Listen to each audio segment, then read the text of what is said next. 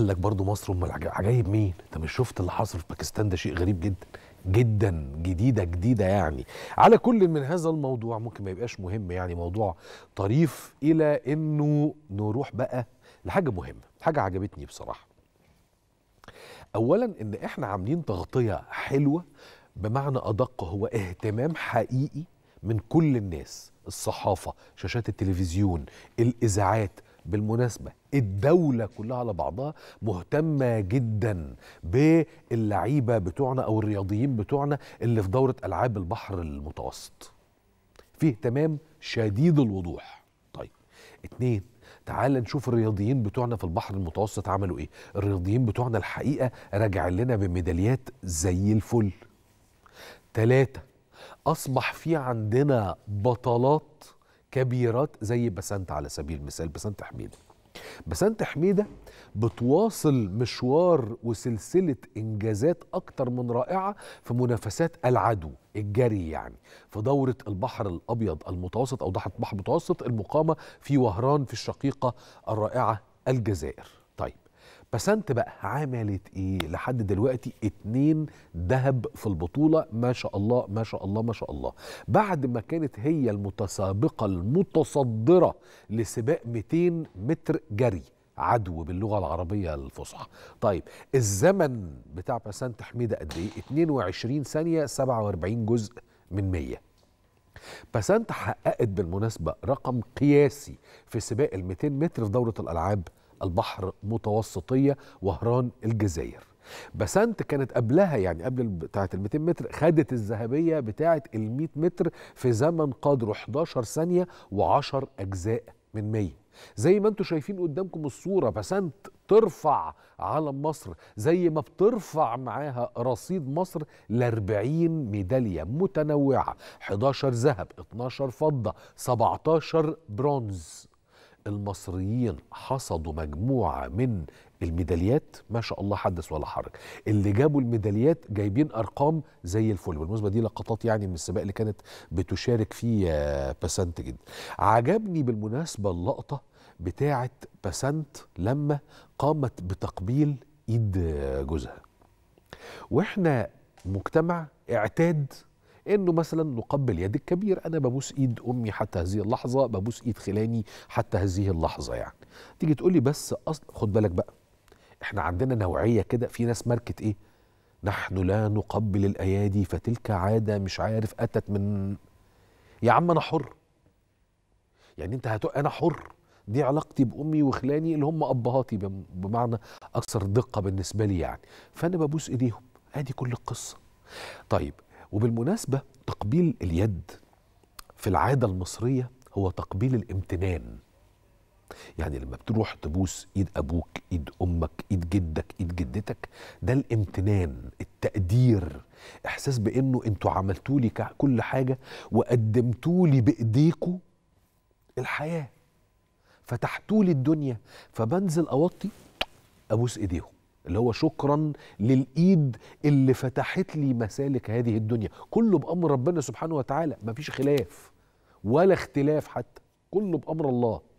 بس فهذه السيدة الفاضلة باست إيد جوزها طلع لك بقى وبتبوس إيد جوزها ليه؟ ثم إن الرجالة هي اللي تبوس إيد الست. يعني إيه يعني عايز اعرف ليه؟ هي تبوس ايده هو يبوس ايده. هم احرار يا عم. انت إيش اخششك؟ ودي حاجة حقيقي غريبة جدا. انت مالك؟ والله العظيم. أو يجي يقول لك مثلا إيه والله على رأي أحمد خالد صالح. قال لك هو أنتوا مالكم حد بيسأله يقول له مش عارف آآ آآ آآ مراتك بتعمل أكل؟ قال له انت مالك؟ وضحك. قال له هو أنتوا مالكم دي حياتنا بتعمل أكل ما بتعملش أكل. حلو وحش هنادي مهنا يعني. فانت مالك فعلا؟ انت ليه طول الوقت البني آدم اللي ملوش علاقة بالموضوع داخل في قصة أو في علاقة واحد ومراته ست وجوزها؟ فردت الحقيقة رد رائع.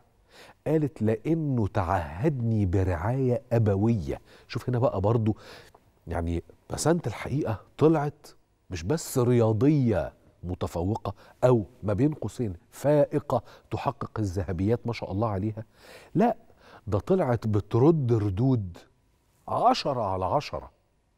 قالت تعهدني بالرعاية الأبوية. يا سلام يا سلام. حاجة حاجة حاجة بجد رد ذكي جدا. من رياضية فائقة نتمنى لها بإذن الله سبحانه وتعالى إنها ترجع لنا بكل الذهب اللي في باريس إن شاء الله في أولمبياد 24 بإذن الله وقدها وقدود هي وكل الرياضيين المصريين اللي راجعين من الجزائر بإذن الله لما هيطلعوا على فرنسا هيرجعوا لنا بذهب ذهب ذهب ذهب على رأي أستاذ طارق علام ربنا يديله الصحة. فاكرين أنتوا كلام من ده؟ ذهب ذهب ذهب.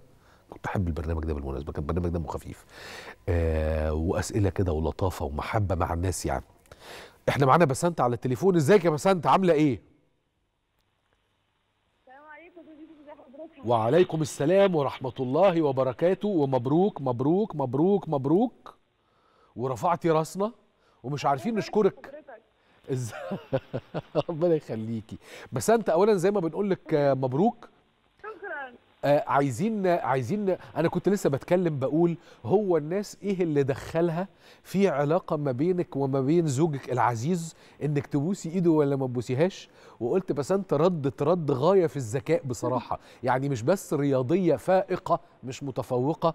يعني آه، سيدة الأرقام القياسية لا ده سيدة الرد بمنتهى الذكاء. قالت تعهدني برعاية أبوية. أنت جبتي الرد ده منين؟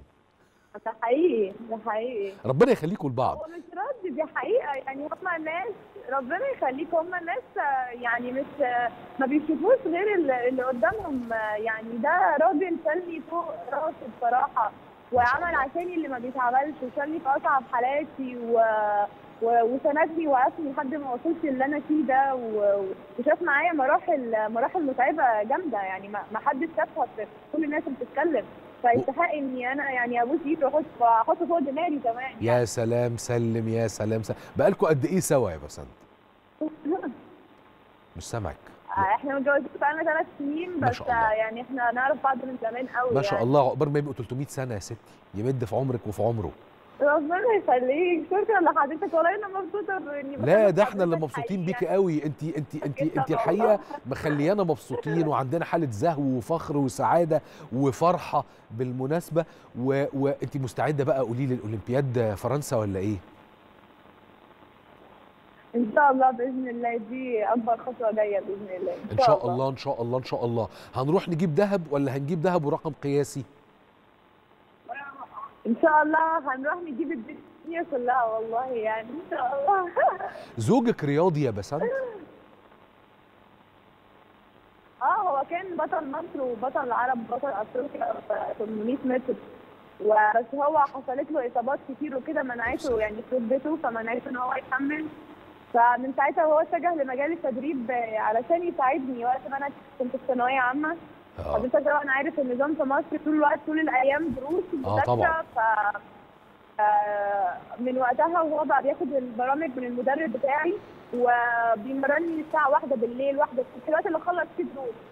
وعايزة أقول لحضرتك إنه كان ممكن يعني يجري جنبي ويجري معايا بس في عشان يشجعني.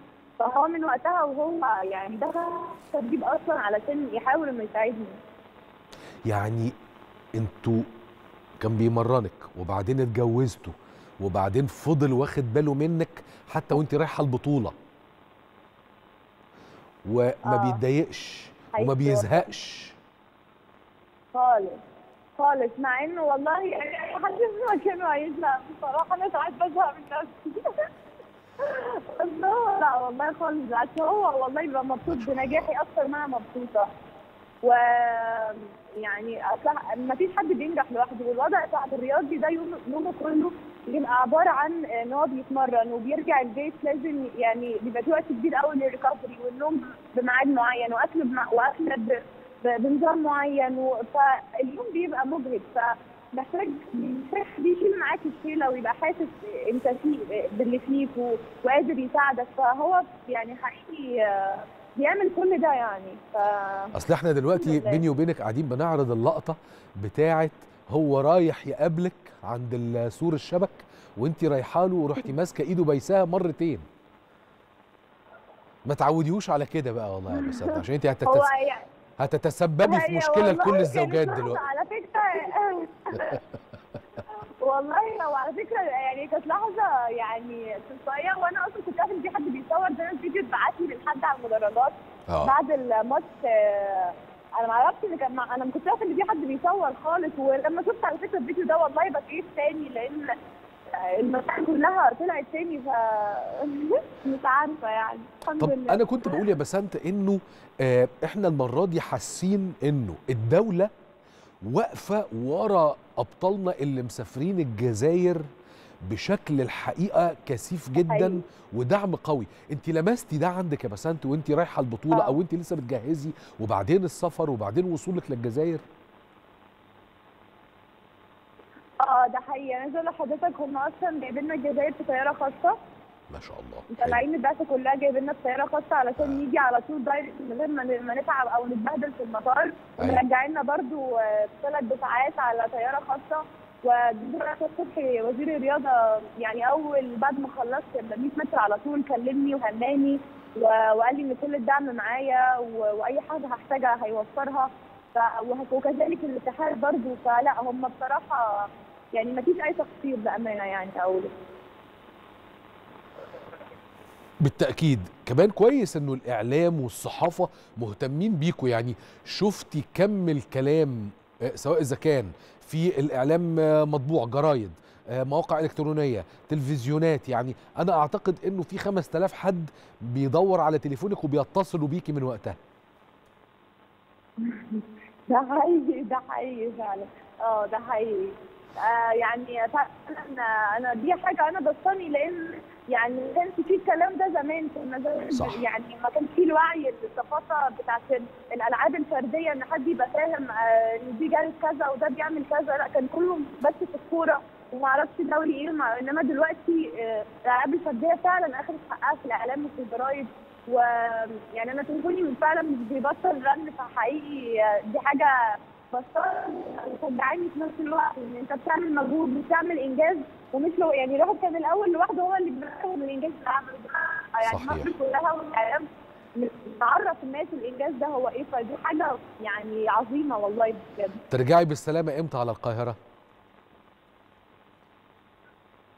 آه بكرة إن شاء الله أو بعد إن بكرة شاء لسه الله. توصلي بالسلامة توصلي بالسلامة انت وكل البعثة بتاعتنا اللي راجعة إن من الجزائر. بإذن الله ألف ألف شكر أولا بإذن على المكالمة الله. وألف شكر ثانيا على الذهب وألف شكر ثالثا على امتنانك لزوجك العزيز وبلغيه تحياتي حاضر يوصل وأنا بشكر حضرتك جدا جدا يعني على المكالمة الجميلة دي. خالص، واجبي. شكرا لحضرتك قوي خالص واجبي صدقيني واجبي وبعمله الحقيقة وأنا مبسوط وفرحان لأن إحنا بجد فخورين بيك يا بسنت حقيقي يعني. ألف ألف شكر ليكي وربنا بإذن الله يرجعك بالسلامة ومبروك ليكي ومبروك لكل اللاعبين أو اللعيبة والأبطال والبطولات آه، بتوعنا. اللي قالته بسنت ده لطيف جدا. آه زمان ما كانش فيه الكلام ده. أنتوا خدتوا بالكم إحنا كان زمان آخرنا في الرياضة آخرنا يعني. بالتأكيد نجوم كرة القدم اللعبة الشعبية الأولى في مصر وفي أغلب دول العالم. تمام. وطبعا عندنا بقى مثلا إيه نجوم السينما. آه، في مرحلة ما بدأ يظهر ما قد تطلق عليه نجوم الإعلام. أنا ما بحبش التسميات دي بالمناسبة خالص. الإعلام لا يبد لابد ابدا ما يكونش فيه أي شكل من أشكال النجومية لأنه دي مهنة صحفية بالأساس. آه والمعيار فيها دايما المهنية والموضوعية والدقة والمصدق والمصداقية ما فيهاش نجومية يعني. آه وكنا على استحياء من وقت للتاني حد ينور. يعني أنا أتذكر كويس قوي باسكت بول كابتن مدحت وردة صانع الألعاب الشهير زمان على أيامي بقى وأنا صغنطط. كنت أنا صغير وكابتن مدحت وردة كبير يعني ما شاء الله بديله الصح فكنت أتذكر كويس قوي كابتن مدحت وردة. ففي فترة كده كان إيه تم إلقاء الضوء على كابتن مدحت وردة. بس اللي هو كل فين وفين لما كنا يتم إلقاء الضوء على بطل رياضي. دلوقتي إحنا لقينا نفسنا عارفين أسماء العدائين. زي باسنت أسماء الرباعين رفع الأثقال. أسماء لعيبة الكاراتيه. أسماء طبعا كرة القدم ده مما لا شك فيه. أسماء كرة اليد تنس الطاولة آه، سكواش وهكذا. ولاد وبنات وكانت الألعاب الشهيدة على رأي زميلي العزيز مخرجنا عطيه ألعاب محدش واخد باله منها. ولا حد مركز. يعني ألعاب فردية على رأي باسنت ما كانش حد مركز. لا ده أنا عايز أقول لك كانت الألعاب الجماعية حتى بما فيها كرة اليد ما كناش آه، مركزين. خالص. النهارده لا الوضع اختلف بالكلية بالكلية. حاجة تانية خالص. في حاجات كتير حاصلة النهارده. في حاجة بالنسبة لي كانت أكتر من رائعة جدا قاعد عمال بتابعها النهارده من ساعة ما اتعملت التغطية الخاصة قاعد عمال مركز وعمال ببص بمنتهى الإنبهار. أنا من الناس اللي لا ربنا لما ربنا كده إيه بيكرمني كده مثلا ويجي لي إيه شغلانة حلوة كويسة أروح أعملها خطفة في لندن وأرجع أصور لي فيلم تسجيلي بتاع أجري حوار كلام من ده ببقى سعيد قوي فأنا من الناس اللي حبت حبت السفر لإنجلترا بصراحة. ما أقدرش أنكر. هي البلد حلوة. كويس. موقفي السياسي ده موضوع تاني خالص يعني. لو قلته تبقى مشكلة كبيرة. لكن مشكلة تفسد العلاقات. لكن اللي عايز أقوله لك إنجلترا حلوة. أنا متح... أنا ما أحبش لندن بالمناسبة. يعني أنا أحب بقية إنجلترا. المدن والضواحي والمدن الأصغر بالنسبة لي مزيكا. لندن بالنسبة لي زحمة وهوسة ودوشة ودمها تقيل. بالرغم إن كل العالم يسموها the most vibrant city المدينة الأكثر حيوية في العالم. المهم لندن فيها مكان مربع سكني كده مربع جغرافي اسمه بادينغتون. ده فيه أكبر محطة مركزية في لندن وأكبر محطة مركزية في إنجلترا المملكة المتحدة بالكامل. بادينغتون. لازم تتفرج عليا وأنا كده راجل مصري طيب أتخن محطة دخلتها يا محطة مصر. فعندنا في القاهرة باب الحديد يا إما محطة مصر في اسكندرية يا إما محطة مترو الأنفاق في ميدان التحرير. آه غلبان أنا مسكين جدا.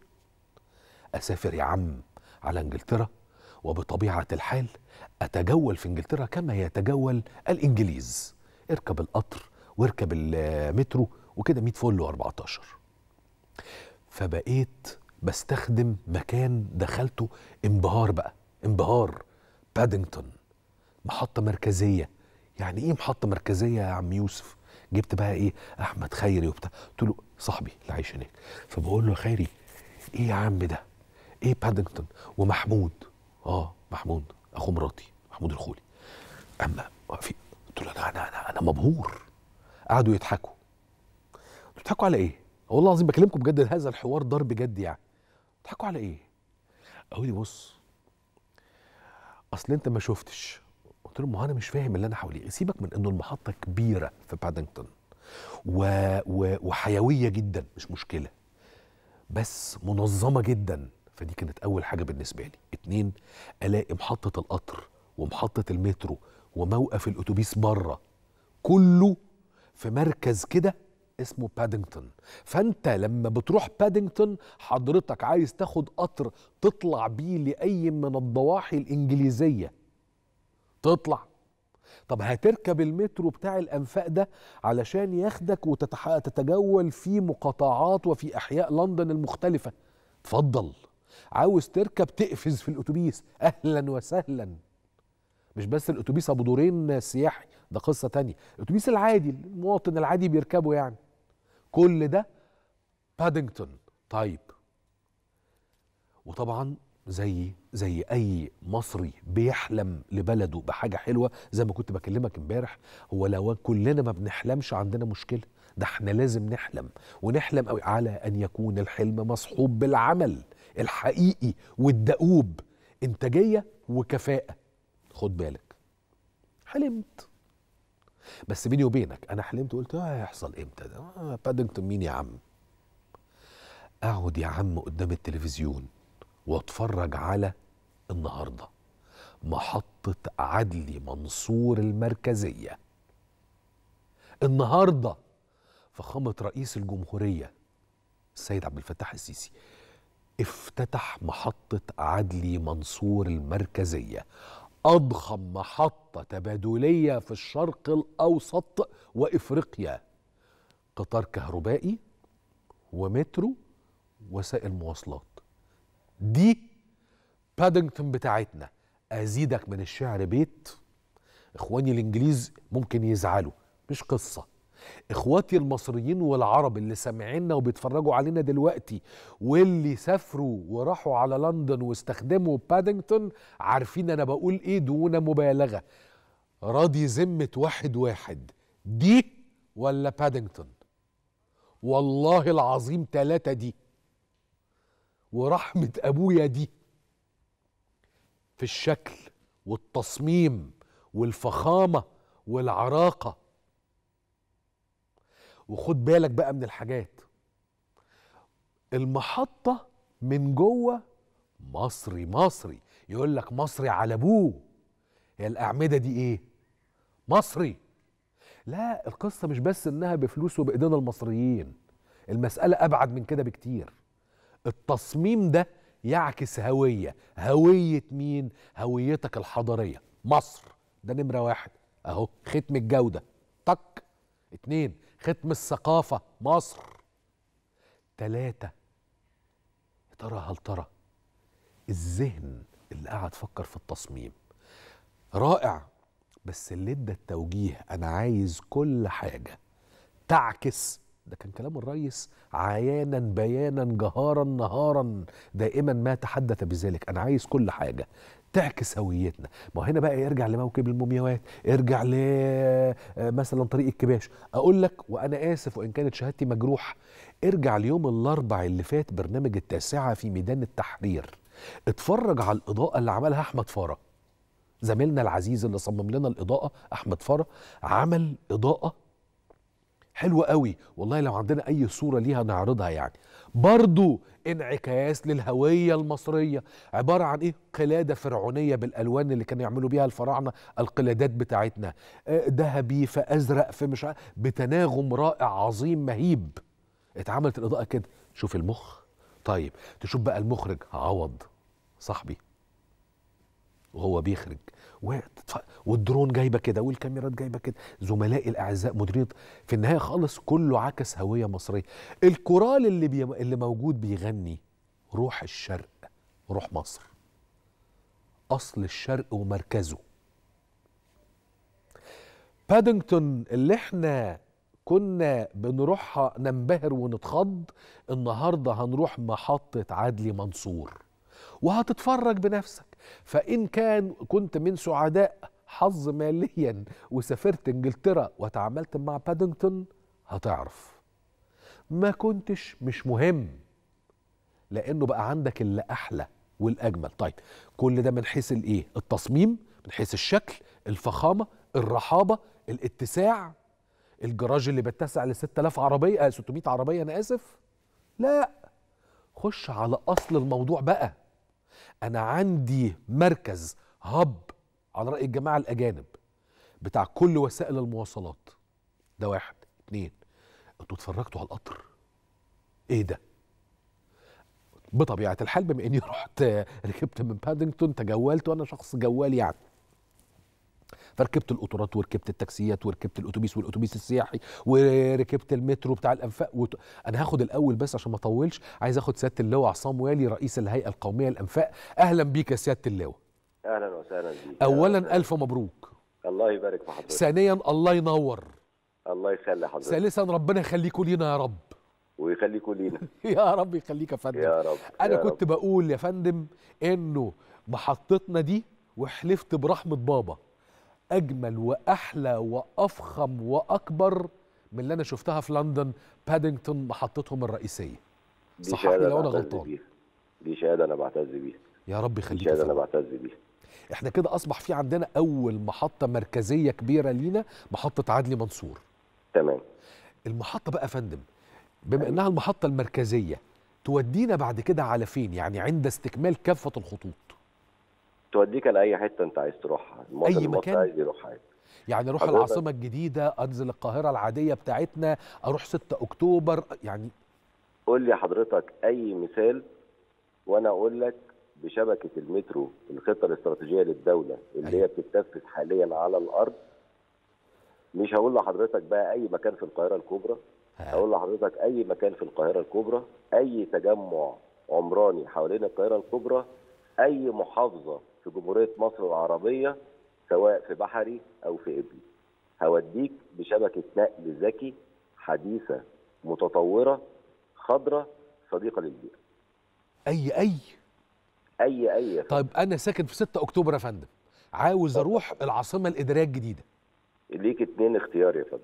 اتفضل. الاختيار الأولاني تركب المونوريل غرب النيل ماشي. تنزل آه، وادي النيل في المهندسين. تاخد الخط الثالث للمترو ها. يوصل حضرتك لعدلي منصور تركب ال LRT أو القطار الكهربائي يوصل حضرتك للعاصمة الإدارية. ده ال option ده الاختيار الأولاني. حلو. الاختيار الثاني حضرتك هتركب المونوريل هتنزل وادي النيل تركب الخط الثالث تنزل محطة الاستاد في آه، شرق القاهرة آه. تركب مونوريل شرق النيل يوصل حضرتك للعاصمة الإدارية.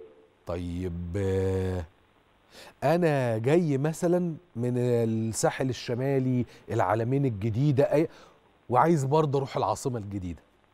حضرتك هتركب دي سهلة خالص. حضرتك هتركب ال- ال- القطار السريع فائق السرعة. هيوصل حضرتك مباشرة من مطروح أو العلمين ينزل حضرتك في العاصمة الإدارية. تاخد LRT أو القطار الكهربائي من محطه ال- المحطة المركزية الثانية اللي إحنا بننفذها حاليا. أيوه. تاخد ال LRT تخش بيه العاصمة الإدارية تروح للعاشر من رمضان أو تنزل القاهرة مره أخرى طب ما أنا لازم أقول أي حاجة طيب ممكن نصعب القصة إذا سمحت لي. اتفضل يا فندم. طب هروح من الساحل الشمالي للغردقة. كويس. هتركب هتركب ال high speed الخط فائق السرعة من العلمين أو من أي قرى الساحل الشمالي تنزل مباشرة بالخط فائق السرعة إلى العين السخنة آه، مباشرة من غير ما تغير من غير ما تغير المواصله طب يا فندم آه، آه، مثلا هنفترض إن أنا غلس جدا فأنا عايز أنزل من الساحل لا، لا، الشمالي اتفضل. أروح على شغلي مثلا هنا في ماسبيرو أعمل البرنامج وبعدين أخد بعضي وأتوكل على الله أروح الغردقة أو العين السخنة حضرتك جاي من الساحل الشمالي آه. هتاخد ال- ال high speed تنزل في محطة ال- ال- العاصمة ال- الإدارية okay. تاخد ال LRT يوصل حضرتك لعدلي منصور تاخد الخط الثالث ينزلك في ماسبيرو قدام مبنى الإذاعة والتلفزيون. الله الله الله الله الله. هو كده عمليا مفيش حاجة هتقف. يا فندم الدولة المصرية داخلة حقبة جديدة خالص. ودي أنا بستأذن حضرتك إن الناس لازم تعرف إن في خطط طموحة جدا وما بقتش مجرد خطط على ورق. دي خطط بتتنفذ على الأرض. حضرتك مشكورا لو في أي مشروع من المشاريع دي إحنا حضرتك الهيئه القوميه للانفاق ووزاره النقل. بننفذ نفذنا عدلي منصور ودي مش هتبقى المحطة المركزية الوحيدة. إحنا عندنا محطه محطة مركزية تاني هتبقى في ال- العاصمة الإدارية عندنا هيبقى محطة مركزية في آه، اسكندرية عندنا محطة مركزية وتبادليه في الأقصر. كل دي محطات آه، مركزية تبادلية مع وسائل نقل ذكي بحيث إن حضرتك إحنا حاليا بننفذ على الأرض الخط الرابع للمترو بنقفل أو سياده الرئيس آه، شرفنا بتدشين بدء ال- التشغيل التجريبي للمرحلة الثالثة للخط الثالث. بننفذ على الأرض المونوريل شرق النيل وغرب النيل. في القريب العاجل هنبتدي في ال- الخط السادس للمترو إحنا حاليا بننفذ على الأرض شبكة القطار فائق السرعة الخط الأولاني العين السخنة العلمين مطروح الخط الثاني أكتوبر آه، أبو سمبل غرب النيل الخط الثالث الأقصر قنا الغردقة سفاجه ده حاجة عظمة كل دي مشاريع بتتنفذ حاليا على الأرض. طيب إذا اذنت لي برضه يا فندم قطعا لشك بيقين. هو الأسعار بتاعة التذاكر هتبقى غالية قوي يعني؟ لا يا فندم إحنا أسعار إحنا أعلنا تزا... أسعار تذاكر ال- القطار الكهربائي الخفيف اللي حضرتك آه، سيادة الرئيس شرفنا النهارده ب... ب... بافتتاحه.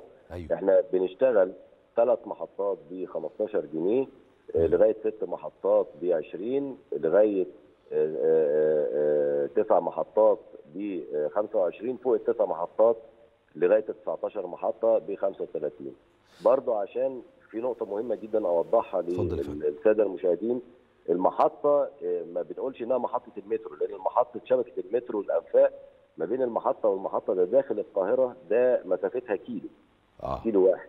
لكن حضرتك في ال LRT الثلاث محطات دول يعني 17 كيلو. طولهم المسافة البينية ما بين من محطة واحد لمحطة ثلاثة دي آه، 17 كيلو. ال- القطار الكهربائي بيمشي المسافة بين المحطات ده المرحلة الأولانية بتاعته 70 كيلو 12 محطة. فإحنا بنتكلم في إن المسافة البينية بتتراوح من 5 ل 7 كيلو ما بين كل محطة والثانيه وبالتالي آه، الناس آه، لازم تستوعب إن كلمة محطة دي مش إن هي زي المترو الانفاق هينزل من رمسيس للعتبه أو هكذا. لا ده بيمشي من المحطة أدي لحضرتك مثال من عدلي منصور للعبور. مدينه. العبور. دي محطة. الفرق حوالي 6 كيلو. آه. من العبور إلى المستقبل. دي 6 كيلو تاني. من المستقبل للشروق دي 6 كيلو تاني. فإحنا بنتكلم من 15 ل 16 كيلو. ما بين المحطة والثانيه من 5 ل 7 كيلو. آه. فدي يعني ده معناه إنه ال 19 محطة دول ممكن يوصلوا لأكتر من 100 كيلو. 103 كيلو يا فندم. ب 35 جنيه. ب 35 جنيه. إيه ده؟ أدي لحضرتك مثال تاني. قول لي يا فندم. إن ال 15 كيلو دول بحسابات البنزين آه. يعني بياخدوا حوالي آه، لتر ونص. مم. واخد بال حضرتك؟ ماشي. طيب أنا هوفر لحضرتك الباركينج ساعه الانتظار اللي تركب فيها عربية حضرتك. آه. حضرتك هتركب من محطة مؤمنة بنسبة 100% ما شاء الله. من ناحية الكاميرات من ناحية الأمن من ناحية ال- التعامل الذكي سواء مع التذاكر أو مع البوابات. القطر بيتم التحكم فيه أو الوحدة المتحركة بيتم التحكم فيها من غرفة غرفة تحكم مركزي. القطار مزود بكافة احتياجات ذوي الهمم من أهالينا. كل محطة فيها من 12 من 10 ل 12 سلم كهربائي. فيها على الأقل أربع مصاعد كهرباء. فيها المحطة نفسها معمول مسارات معينة بتصميم هندسي معين لذوي الاحتياجات الخاصة بحيث إن هو يخش المحطة لوحده ويقدر يتعامل لوحده من أول من الباب لغاية ما يركب القطر ويغادر المحطة. بوسائل إرشاد مم. سمعية ووسائل إرشاد بصرية مسارات مصممة هندسيا لفاقدي ال- البصر بحيث إن هو يقدر يمشي في المحطة وما يحتاجش أي نوع من أنواع المساعده. حلو قوي هي دي الجمهوريه الجديده. ده ده ده ما- ده إيه الحل؟ طب معلش أنا هطول أرجوك استحملني يا سيادة اللواء. لا تحت أمرك يا فندم. دلوقتي أنا شفت القطر من جوه وشفت كراسي هو بجد مش هزار هي دي كراسي ميبخ قوي يعني. يعني والله غير إن أنا هنزل على الأرض رجاء لأخويا المو... النبي حافظ على الحاجة حرام يعني. بس ده بجد والله أصل أنا ركبت القطارات بتاعت إنجلترا يعني كنت دايما أقعد أضرب بيها المثل. تمام. وأقعد أتمنظر على أصحابي ده أنا ركبت القطر ركبت القطر. فالقطر ده بالمناسبة حلو قوي قوي يعني. زي بتاع إنجلترا تقريبا نسخة. طبق الأصل بل إنه في بعض الحاجات أحلى وأشيك وأفخم وشغل خشب وكراسي جلد كده وميبخ قوي يعني. فسؤالي بقى هو يعني القطر ده غالي قوي ولا القطر ده برضو إيه في اللذيذ؟ لا. حضرتك ده حضرتك بتتكلم على القطارات ال- السكة الحديد آه الجديدة اللي, اللي تم شراءها بواسطة هيئه السكة آه. الحديد لوزاره النقل.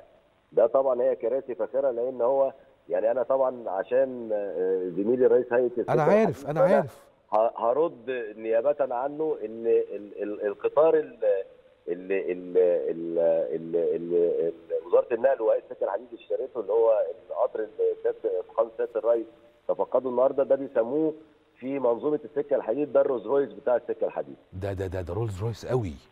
ف... فده ده اللي بيطلق عليه. يعني ده اللي بيطلق عليه إن ده الرولز رويس بتاع السكة الحديد. ده أنا عليا النعمه يعني، أسيب آه، العربية وأركب القطر.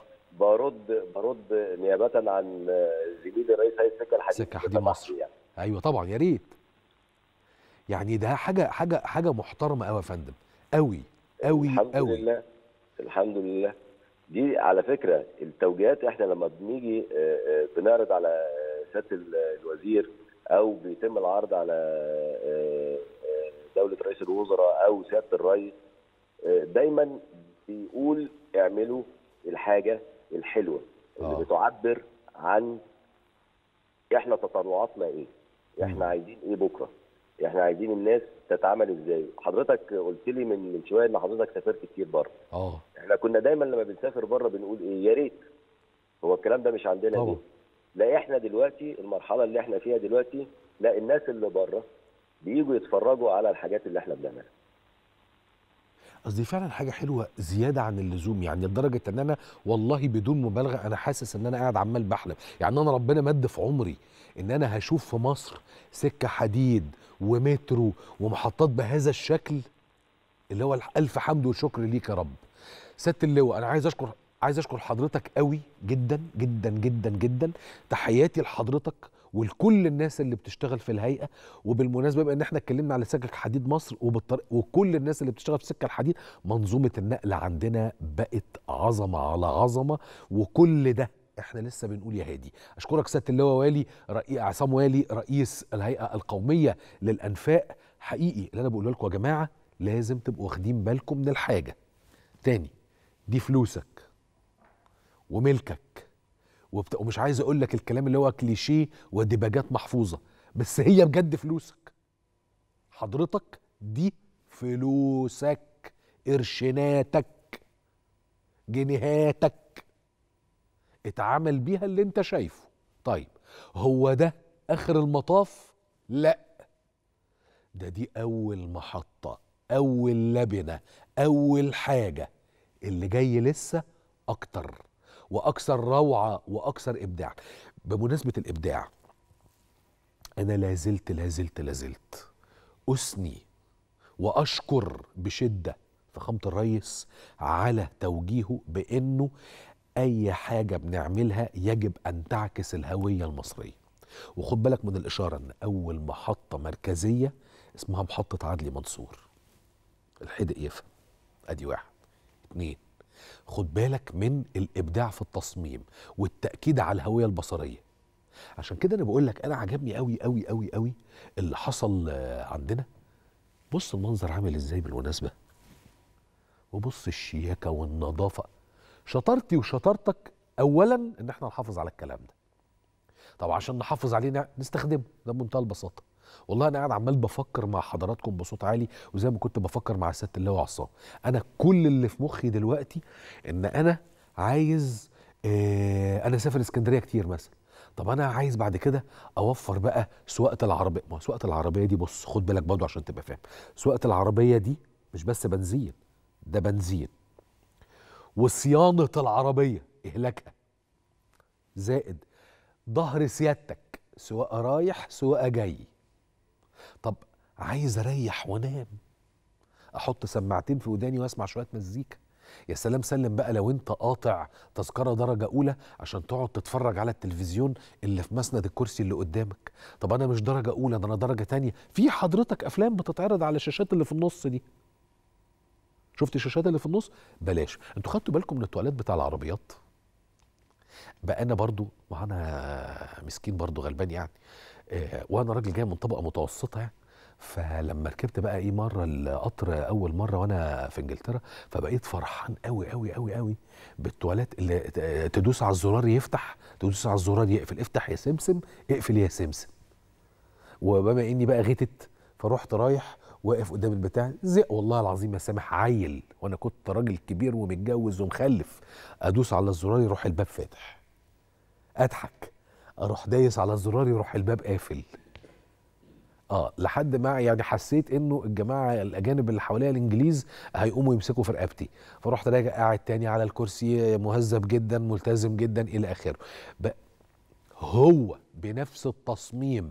الزاوية اللي واخدة نص دايرة في ضلع منها يعني مثلث آه، واخد نص دايرة في الضلع الرئيسي بتاعي بتاعه أو في قاعدته يعني.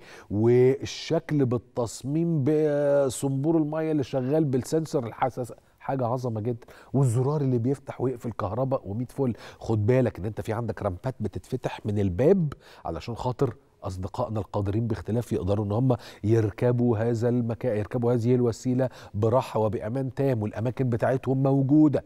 ده على سبيل المثال. حضرتك راجل عاوز تشهيص نفسك وتقعد درجة أولى هتقعد درجة أولى على كرسي ميبخ عشرة على عشرة. حاجة مزاج. ومخدتك تلفزيونك أفلامك مدة الرحلة اتفرجت على فيلم آه، اتفرجت على برنامج تلفزيوني آه، سمعت مزيكتك اللي انت عايزه بقى انت حر. طيب درجة تانية قاعد على كرسي حلو ما هوش وحش على الإطلاق. وتاني القطورات دي هي بتاعت أوروبا والله العظيم. هي حاجة عظمة.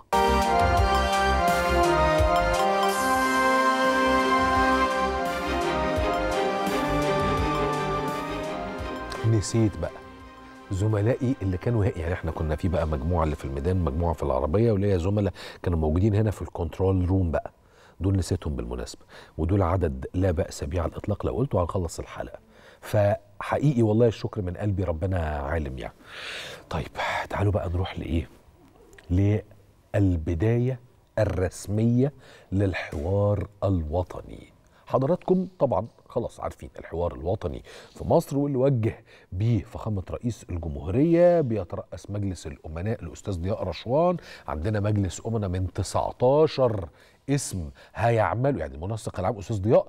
وعندنا 19 اسم هم مجلس الأمناء طيب مجلس الأمناء موجود بشكل الحقيقة تشكيل أكتر من رائع تشكيل بيعكس مهنية بيعكس اختلافات وجهات النظر الرؤى بيعكس الاتجاهات السياسية والفكرية المختلفة بيعكس طبيعة بيعكس كمان فكرة التمثيل النقابي إلى آخره. تشكيلة كبيرة جدا جدا من الشخصيات الرائعة جدا في مجملها بل وفي تفصيلها أيضا مهم جدا إن إحنا نبدأ نتابع. طيب يوم الثلاث الجاي تبدأ الجلسة الأولى. بس جلسة إيه بقى؟ اللي هي اجتماع مجلس الأمناء. يوم الثلاث إن شاء الله هيبقى خمسة سبعة خمسة يوليو.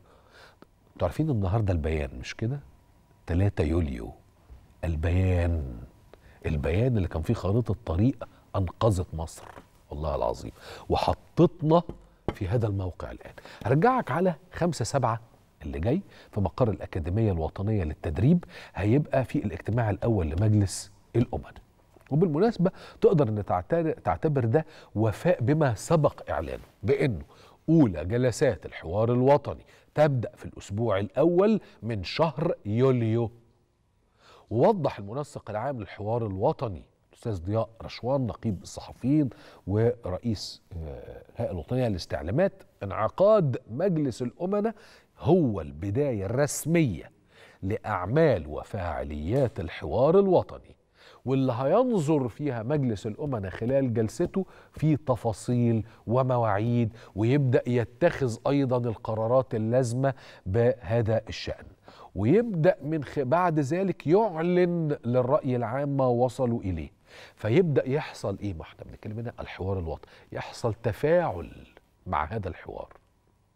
مشاركة مع هذا أو في هذا الحوار بكل الوسائل المباشرة والإلكترونية. يعلن الأستاذ ضياء رشوان المنسق العام للحوار الوطني إنه تاكيدا لحق الرأي العام في المعرفة والمتابعة الفورية والشفافة لمجريات الحوار فهيتم عقد مؤتمر صحفي لوسائل الصحافة والإعلام المصرية والأجنبية إن شاء الله بعد انتهاء اجتماع مجلس الامناء. ليه؟ بمنتهى البساطة عشان يتم إعلان ما جاء في هذا الاجتماع.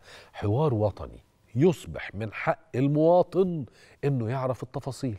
ده حق في المعرفة حق في المتابعة الفورية حق في المتابعة بمنتهى الشفافية لكل ما يأتي في هذا الحوار. فيصبح حقا مكفولا للرأي العام. شوف الجملة اللي قلت لك كده حقا مكفولا للرأي العام. طوال مجريات وفعاليات الحوار الوطني. شوفوا يا سادة يا كرام آه طيب. أتفك معاكم بكلمتين بقى. واعتدل في جلسته. ثم أخذ يفكر ويفكر لا الحكاية مش محتاجة تفكير طويل مني لأن المسألة بالنسبة لي مسألة يعني طالما فكرت فيها. أنا راجل ربنا سبحانه وتعالى أسعدني بأم وأب الاتنين شرفاء جدا جدا إلى أبعد الحدود. أمي وأبويا الاتنين لم ينشغلوا على الإطلاق بجمع أموال. خالص خالص. هم انشغلوا بتربيتنا وبنظن إن إحنا اتربينا كويس. وأنا أعتقد إن إحنا اتربينا كويس قوي لأن إحنا عندنا آه، مبادئ رئيسية يعني. وقيم بجد والله بكلمكم بجد مش شكر فينا يعني. طيب. وفي نفس الوقت علمونا كويس قوي جزء من الحظ الجيد والسعيد إن إحنا الأربعة طلعنا محظوظين. وإحنا أربعة غير أشقاء بالمناسبة ودي جزء من الفضفضة. الحظ اللي إحنا فيه خلانا اتربينا في وسط أعمدة وأساطين. عارفين يعني إيه أساطين؟ جمع أسطون. الأسطون هو العمود الرئيسي للمبنى الضخم والمهول. ما بين أعمدة وأساطين. خد بالك بقى. المعارضة المصرية لعهود. يعني إيه لعهود؟ يعني إحنا بالحظ بحكم إن إحنا ولاد مصطفى وتحية اتربينا في وسط أكبر كتاب عرفتهم مصر والوطن العربي. سواء إذا كانوا بقى كتاب بالمعنى الأدبي أدباء شعراء كتاب مقالات وتحليل سياسي. اقتصادي. رجال صنعوا أحزاب. رجال شاركوا في حركات سياسية شديدة الأهمية بما فيها بعض من الضباط الأحرار. فطلعنا معارضين بالميلاد. آه بكلمك بجد. طلعنا شاربين معارضة. طلعنا ما بيعجبناش العجب. طلعنا بنطلع القطط الفاطسة في أي حاجة. مش من باب الهدم خالص. برضو ده إحنا ما تربيناش عليه. إحنا اتربينا على ان إحنا ننظر بدقة شديدة وبحث في التفاصيل بشكل أبعد من كلمة الدقة. تفاصيل التفاصيل. حلو؟ وأنا مستعد ألعب معاكم لعبة. قول لي أي ثلاث جمل وأنا أفندها لك من أول مرة أسمعها. مش عشان أنا شطور بس اتدربت على كده. وأقول لك المقصود إيه. والراجل ده غمز بعينه كده وقال كده وفلانة عملت مش عارف إيه وترتان قال ك... كويس؟ ممكن تبقى قاعد بتكتب وأنا سامع كل اللي حواليا. ماشي؟ اتدربنا على المعارضة أو اتولدنا جوه المعارضة بس اتربينا سياسة كويس قوي قوي وتربينا إن إحنا نقرأ كتير قوي وبحكم إن هم استثمروا في تعليمنا فطلعنا بنتقن لغة واتنين غير العربي. فبقينا مطلعين لو صح التعبير. وعشنا في وسط معارضة الملك فاروق معارضة عبد الناصر معارضة السادات معارضة أخ مبارك بالتأكيد معارضة مرسي وإن كان أبويا ما عاصرش مرسي وده من رحمة ربنا بيه يعني. وكنا دايما كعائلة جوه مربع المعارضة كأصدقائنا جوه مربع المعارضة. أسهل حاجة في الدنيا أسهل حاجة خد بالك اوعى تفتكر إن المعارضة صعبة. معارضة سهلة. صعوبتها في المواجهة. بس. فإحنا اتعلمنا المواجهة وما بقاش فارق معانا حاجة يعني. ناس شايفة أبوها وأمها بيترفدوا وبيتسجنوا ومش عارف وبيعتقلوا عادي. يعني هي لا يأثر يعني. ولا فارق حاجة. زي ما تيجي تيجي. الارزاق على الله زي ما بيتقال. ما عنديش أي شيء يدفعني على الإطلاق. إن أنا أقول لك مش بقى أسيب مربع المعارضة. إن أنا أحافظ أحافظ على مواقفي المبنية على المبادئ. ولكن إن أنا أبقى شايف بالعينتين مش بعين واحدة. وعلشان كده هتلاقي إن البعض يجي يقول لك إيه مثلا هو يوسف غير مواقفه؟ لا. وبالمناسبة هو تغيير الموقف لا عيب فيه واللي علمك وفهمك إنه تغيير الموقف عيبة أهبل. تغيير المبدأ عيبة. في مفكر سياسي كبير جدا الله يرحمه اسمه لطفي واكد. يساري على أبوه. اصبر يا روز. أستاذ لطفي واكد رحمة الله عليه ده راجل يساري قح. ومفكر مهم وكاتب مهم قوي الله يرحمه. الراجل ده كان من مربع معارضة جمال عبد الناصر. ثم غير من مواقفه. فصار من أكتر الناس المؤيدة المؤمنة بجمال عبد الناصر. هو كده لطفي واكد غير مبادئه ولا غير موقفه. لا لطفي واكد لم يغير مبادئه على الإطلاق وإنما غير من موقفه عندما اقتنع في داخله وفي قرارة نفسه بأن عبد الناصر صح. اللي علمني علمني يسار اللي بلشفني كده زي ما نقول الله يرحمه يا رب الأستاذ مصطفى طيبة. كان معتقل ثم سجين أيام عبد الناصر وخرج 64 وبيحب عبد الناصر جدا ورأيه أنه عبد الناصر ده زعيم عظيم. ماشي؟ هل غير مصطفى طيبة مبادئه؟ لا. عنده موقف من طريقة جمال وارد. هل ده معناه أن يعادي جمال؟ لا. ماشي؟ طيب. غيرت موقفك؟ آه يا فندم. آه غيرت. اولا هو أنت شريكي؟ معلش أنا آسف. اتنين هو انت هتعلمني الأدب. أنا آسف برضو معلش استحملني. تلاتة أنا مؤدب. وتغيير موقفي لا في ما فيهوش عيب. أنا موقفي بإن أنا أبقى واقف في مربع المعارضة في اتجاه أنظمة أراها غاشمة مستبدة ظالمة مش معناه إن أنا لما أشوف الحاجة الحلوة في نظام طول الوقت بيفكر في مصلحة المواطن. ما أنا راجل معلش يا جماعة اسمحوا لي. والنبي الله يخليكم. ماركسي يعني تنظيم أحمر يعني. حلو. ده جزء من مصارحتي مع حضرتك. مفيش حاجة تشغلني سياسيا واقتصاديا غير مصلحة الغلابة. قول لي حاجة واحدة حصلت في مصر من 30 6 لحد اللحظة اللي أنا وأنت بنتكلم فيها دي ما كانتش بتصب في مصلحة الغلابة. واوعى تسيب حد يضحك عليك ويقول لك والأسعار؟ الأسعار دي زادت عليك أنت لوحدك ولا زادت على الدنيا؟ يا منصف يا محترم يا عاقل. هي زادت على الدنيا.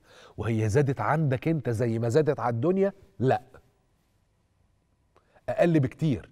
الدنيا السعر فيها اتضرب في أربعة وخمسة. انت هنا السعر عندك زاد له 20 30% تروح جاية الدولة بمؤسساتها المختلفة تقلل لك ال 20 30% في إطار مبادرات وفي إطار منافذ بيع وما إلى ذلك. إلى أن تنزاح غمة الحرب.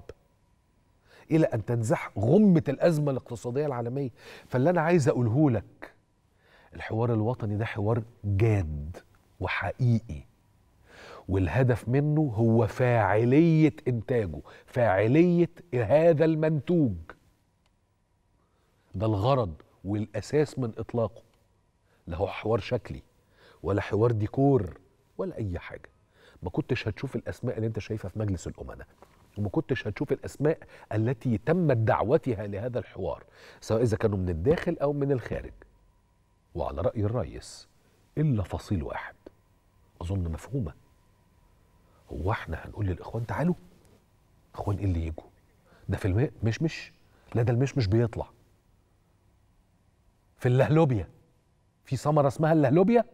أول ما اللهلوبيا تنبت الإخوان إن شاء الله يبقوا يشاركوا في الحوار الوطني. فصل ونكمل الكلام.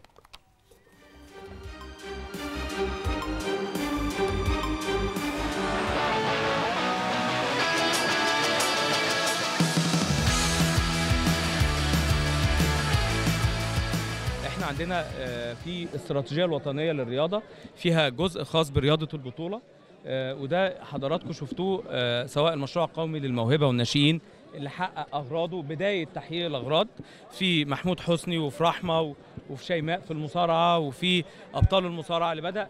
يحصل ضخ للمنتخبات الوطنية فيه وأيضا نتائج ولادنا والاتحادات الرياضية ومعاها اللجنة الأولمبية كل المنظومة الرياضية من خلال آه، بطولة البحر الأبيض المتوسط وعلاقتنا الحميمة في الحقيقة والتشجيع الكبير. كل الشكر والتقدير لمعالي آه، وزير الشباب والرياضة الصديق آه، بالجزائر الشقيقة معالي الوزير عبد الرزاق سبحاق وأيضا للشعب الجزائري كله قيادة وسياسية في الحقيقة.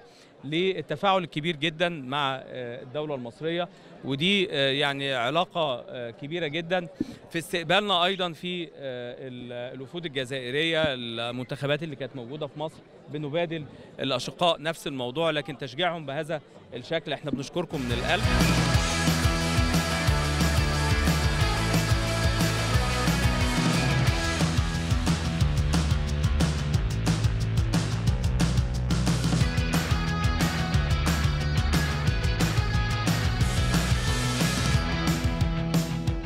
النهارده اليوم متقسم لثلاثه لثلاثه category freestyle و strength و power. كل ال strength وال power متقسمين لثلاث فئات خفيف وتقيل ومتوسط. في الأوزان على أسرع واحد يجيب عدات في وقت أكتر. بعد كده لما بيكسب بياخد مركز أول بيتقل بطوله العالم لروسيا. بيسافر روسيا تبع كوسكواد بيلعب في بطولة العالم في روسيا. والله إحنا إحنا في المشروع ده من 2015 وفضلنا مستمرين في المشروع لحد لحد الآن وشاركنا في كذا بطولة دولية منها البحر المتوسط وبطولات أفريقيا و... ومعسكرات خارجية و... يعني المشروع واقف في ظهرنا ومساندنا كويس جدا. هو في الأول خالص كنا صغيرين فبيعملوا اختبارات. يعني ما كناش لسه سجلنا في نوادي وبتاع فعملوا لنا اختبارات و... وبيختاروا بقى في اللجنه بيكون في لجنة فنية وبتاع فبتختار. المشروع القومي بينضم بافضل العناصر الموجودة في مصر على مستوى الجمهورية. بيتم المشاركة فيهم في بطولات إفريقية وعالمية وأنا حاصل على أول أفريقيا مرتين مرة 2020 في الجزائر و2022 في المغرب وحصل على أول بحر ذهبيتين البحر المتوسط في 2021 في اليونان. شاركت في بطلة العالم بطولة العالم في المكسيك حصلت على المركز الخامس. وكان في دعم من المشروع القومي في دمياط في دعم مادية وكان المشروع مكتسح رفع الأثقال. أول حاجة إن أنا بدأت بالمشروع من وأنا صغيرة وبعدين طلعت بقى واحدة واحدة في المشروع ده. بعدين بقيت من أبطال الواعدين وبيدعم حاجة كويسة وإن شاء الله نبقى حاجة كويسة إن شاء الله.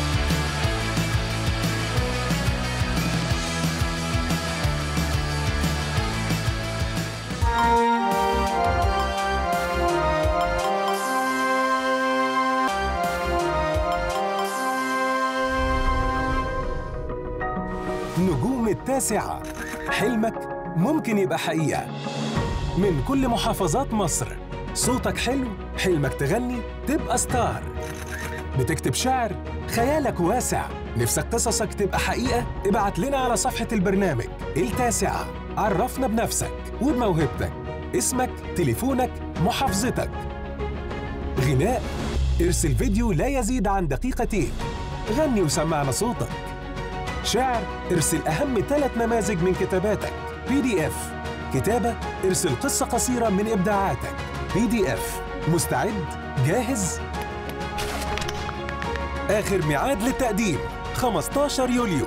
نجوم التاسعة أسهل وأسرع طريق. تعرض فيه موهبتك. على قناة مصر الأولى.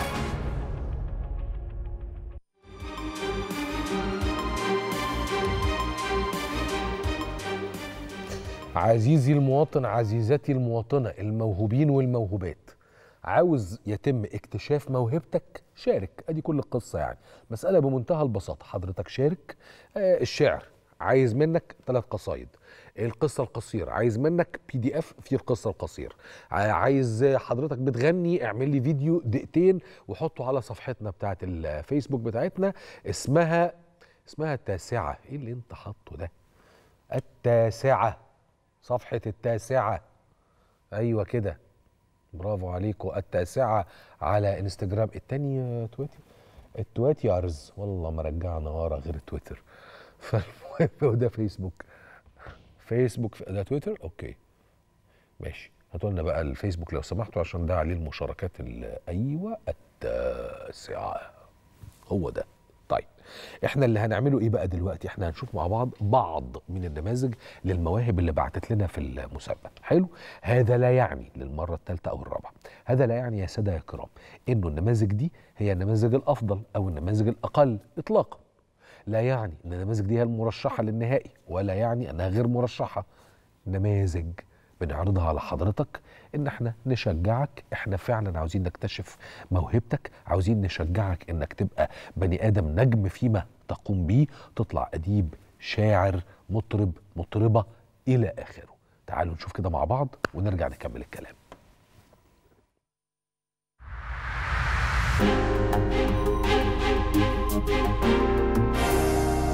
مصطفى مصطفى منبع للصفا سيد الأنبياء مشعل في الوفاء كان في عطفه لليتامى دفا.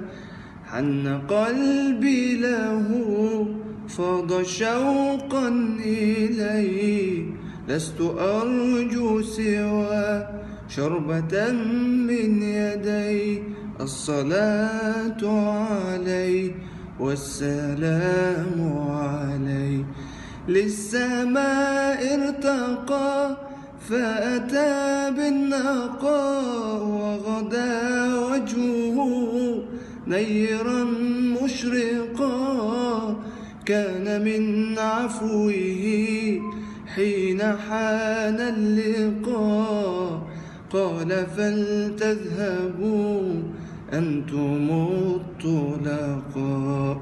مصطفى مصطفى منبع للصفا سيد الأنبياء. كل حاضر ثانوية عامة ركز معايا في الكلمات دي. انت اللي تقدر عليه والباقي على الله يبقى تخاف ليه وحتى لو ما جبتش مجموع انت غالي Don't listen to the voice inside your head. You're doing just fine. You're trying your best. If no one ever told you, it's all gonna be okay.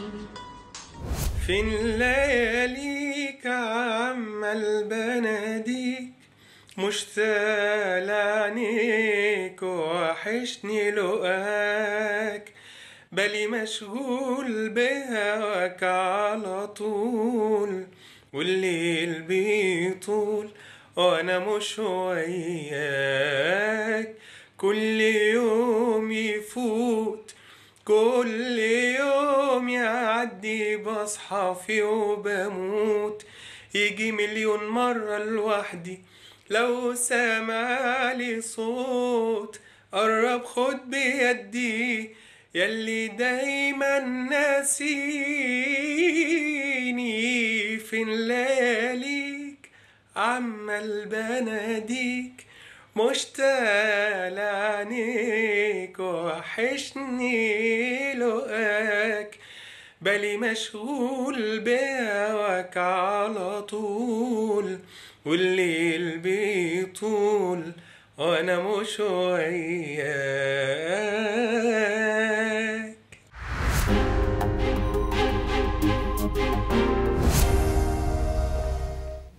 حلو. طيب بصوا بقى. اولا أنا عجبني من الآخر محمد أبو عيش. أنا مش لجنة التحكيم ويمكن لو خدتوا بالكم إحنا امبارح يعني إيه خدنا وعد مبدئي من الأستاذ مدحت صالح ان يكون موجود معانا في لجنة التحكيم. فبالنسبة للناس اللي هتغني خدوا بالكم. يعني إذا ربنا سبحانه وتعالى يسر الأحوال أستاذ مدحت صالح موجود معانا بشكل نهائي وكامل في لجنة التحكيم ففي النهاية يعني أنت هتقف قدام مدحت صالح. طيب في حاجة بس. محمد أبو عيشة صوته لذيذ على فكرة. اللي عجبني إنه بيغني بشخصيته. أنا أحب اللي يغني يبقى له شخصية يعني ما يبقاش بيقلد الغنوه الاصليه يبقى له شخصية. وأنا راجل مش محكم غنى. بس في حاجة مهمة جدا يعني. هو كلكم بتغنوا وأنتوا قافلين بقكم ليه؟ الغنى ما فيهوش بق مقفول. لازم تدي مساحة مبدئيا للهوا يدخل ويخرج. والرينج بتاع الصوت. فأنتوا كله بيغني كده. ليه؟ بتغنوا كده ليه؟ يعني إلا لو حد مركب طقم ده موضوع تاني. فوالله بتكلم جد مش حاجة اسمها كده. أرجوكوا غنوا صح. تاني ده مش تقييم ولا أنا المقيم ولا أنا ينفع أقيم. أنا بس بقول لك إيه ملاحظات يمكن إيه تساعدنا. طيب يا عم يوسف يعني الفيديو ده كده اترفض ولا اترفض ولا اتقبل؟ بس لو عاوز تبعت تاني ابعت. يعني ما عندناش مانع. طيب تعالوا بسرعة نروح لخبرنا اللي إحنا رايحين للخبر لا ده رايحين للفاصل ده النهارده زي ما كنت بقول لكم البيان. 3 يوليو سنة 2013 من تسع سنين تلي علينا بيان ذات مساء. تلاه علينا وقتها سيادة الفريق أول عبد الفتاح السيسي وزير الدفاع والقائد العام للقوات المسلحة المصرية. وفيه خارطة طريق وعدت تسع سنين. النهارده 3 يوليو 2022 ينورنا ويشرفنا داخل الاستوديو صديق عزيز ورفيق أعز النائب محمد عبد العزيز وكيل لجنة حقوق الإنسان بمجلس النواب عضو تنسيقية شباب الأحزاب والسياسيين وأحد مؤسسي تمرد. ينورنا محمد عبد العزيز بعد الفاصل. طيب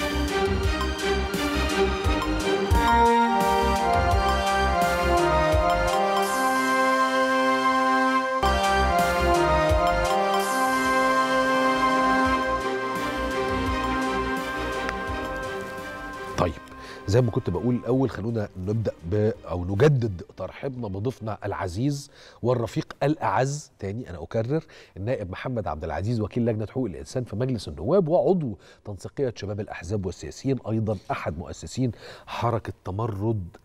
وكل سنة وأنت طيب يا عبد العزيز تسع سنين. كل سنة وأنت طيب يا يوسف وكل سنة والشعب المصري كله بخير والحقيقة إحنا بنتذكر في 3 يوليو ويمكن طبعا إحنا كان بينا عديد من اللقاءات والمشاورات صحيح. في السنة السوداء دي حتى الخلاص من هذا التنظيم صحيح. الإرهابي اللي كان بيحكمنا فبعد تسع سنين بشوف النهارده آه، مشهد الصبح كده وأنا نازل آه، السيد الرئيس وهو بيفتتح آه، القطر الكهربائي وبرجع أفتكر إحنا من تسع سنين كان الموقف ان إحنا عايزين كهرباء تبقى موجودة في البيت أصلا. يعني الكهرباء بتيجي آه، ما بين عظمة الإنجاز في التسع سنوات والتحديات الكبرى اللي مصر مرت بيها في التسع سنوات من تحدي مكافحة الإرهاب لتحدي الإصلاح الاقتصادي لتحدي الإصلاح السياسي بكل التفاصيل بقى اللي ممكن تندرج تحت آه، كل التحديات اللي مصر واجهتها. بشوف إنه قرار 3 يوليو وثورة الشعب المصري في 30 يونيو حتى الآن إحنا يمكن ما اديناهاش حقها. اللي حصل ده معجزة بكل المقاييس. ليه؟ ليه؟ أنت عندك تنظيم إرهابي وصل في غفلة من الزمن إلى آه، سدة الحكم. وهذا التنظيم الإرهابي كان متبني وجهة نظر يا نحكمكم يا نقتلكم. مم. ونقعد في الحكم 500 سنة وكل الكلام اللي كنا بنسمعه ده.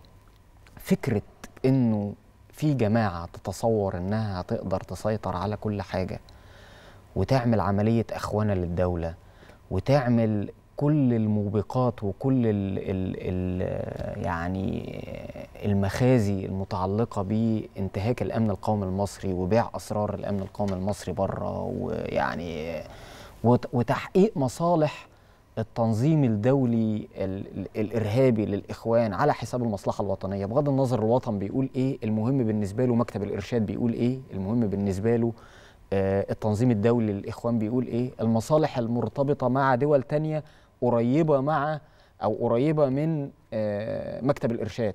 أهم بالنسبة له من المصلحة الوطنية. صحيح. كل التحديات دي الشعب المصري قال لأ مش بس علشان آه، البنزين مش موجود في البنزينة ولا السولار مش موجود في ولا الكهرباء بتقطع. أنا رأيي انه المحرك الرئيسي كان إنه في إحساس عام بالخطر بالخطر على الدولة نفسها. على كيان الدولة نفسها. انت لما تتذكر حادثة رفح الأولى مم. وتتذكر قد إيه كان في إحساس عام بإنه الجماعة دول اللي بيحكموا دلوقتي ليهم علاقات وثيقة بتنظيمات الإرهاب في العالم كله. صحيح. وفي إحساس عام كده محدش عارف يقول إزاي إحنا وصلنا إنه رئيس الدولة الرئيس المعزول محمد مرسي في شك. أنت ما عندكش لسه قرائن ويقين عن إيه اللي بيحصل. لكن الخطاب اللي بيقوله الإخوان هو الخطاب اللي بتقوله داعش هو الخطاب اللي بيقوله القاعدة هو الخطاب اللي بيقوله كل تنظيمات الإرهاب في العالم. ولذلك في حاجة مشتركة ما بين هذه التنظيمات وبعضها. وبعدين يجي رئيس الدولة في هذا الوقت للأسف يعني يقول لك لما حصل حادثة خطف الجنود يقول لك الحفاظ على سلامة الخاطفين والمخطوفين. في اللحظة دي حسينا إنه لا ده مش الخاطفين والمخطوفين ده البلد اللي مخطوفة.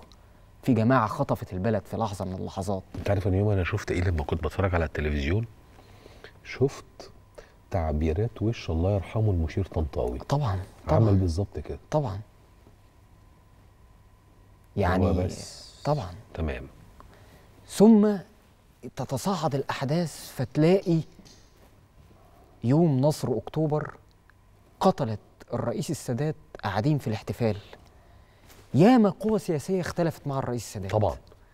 من اليسار ومن الناصريين وغيره. لكن هل في حد عاقل يختلف مع أي رئيس يبقى متصور إنه الحل هو استخدام العنف والإرهاب والقتل في ال- في ال- اغتاله يعني وبعدين أعزم القتله ثم في يوم نصر أكتوبر تلاقي قتلة الرئيس السادات قاعدين في هذا الاحتفال في هذا المشهد تختلف بقى في السياسة مع الرئيس السادات تتفق في السياسة مع الرئيس السادات ده أمر وأنت شفت إنه في تنظيم بيقول للدولة المصرية الوطنية مفهوم الدولة الوطنية؟ لأ مش موجودة الدولة الوطنية اللي موجود دولة الجماعة. وتتذكر بقى كل اللي كان بيقوله مرشد الإخوان عن تنظيم طز. عن طز في مش. عارف إيه. طبعا ما ينفعش الكلام ده إحنا نقوله يعني. طز آه. لكن آه، بالنسبة له ال- المسلم ال- اللي في دولة تانية أولى من أن يحكمني مسلما ماليزيا. عن عن المسيحي المصري. فأنت هنا بتتكلم على مفهوم آخر غير الدولة الوطنية خالص. دي مش مصر اللي إحنا نعرفها. مصر اللي إحنا نعرفها هي الهلال مع الصليب في ثورة 19 دي مصر. ال- ال- الوطنية المصرية أصلا تشكلت في آه، آه، آه، وبرزت وكان عندها موقف واضح من الاحتلال في ثورة 19 على مدرسة إيه؟ على مدرسة إنه سعد باشا زغلول زي ويصا واصف باشا. زي مكرم باشا عبيد زي مصطفى النحاس. صح. مفيش فرق هنا بين مسلم ومسيحي ده كلام مش مطروح على الإطلاق. الكلام اللي قاله القس سيرجيوس لما خطب في الأزهر واتكلم على إنه لو هيقتلوا المصريين ال- ال- المسيحيين فليعيش المسلمين المصريين أحرار. وإحنا هنا ما بنتكلمش مسلم ومسيحي إحنا هنا كلنا مع بعض في مواجهة الاحتلال. المنهج ده دي الوطنية المصرية اللي إحنا نعرفها. أول مرة نشوف بقى كلام له علاقة بإنتوا وإحنا والمسلمين والمسيحيين. ده ده مش منهج خالص ال ال الوطنية المصرية. اللي حصل في 30 يونيو هو مش بس تحدي لجماعة إرهابية ده تحدي لإيرادات دولية وإقليمية كانت عايزة البلد دي تروح في مكان تاني خالص في, في, في مسار يروح للحرب الأهلية. اللي حصل ده دي مشاريع دولية كانت تهدف لتدمير هذا الوطن.